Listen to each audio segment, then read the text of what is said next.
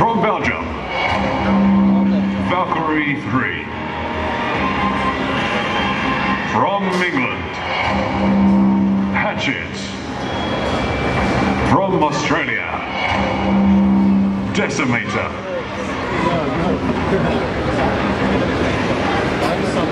Roboteer, get ready. Three, two, one, begin.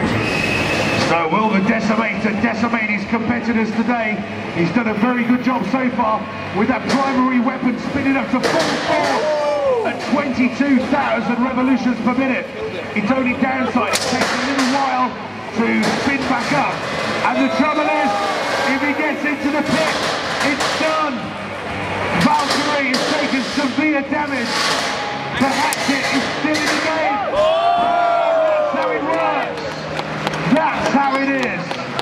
And look at the state of the barrier. It's bent the barrier like a banana. My goodness me.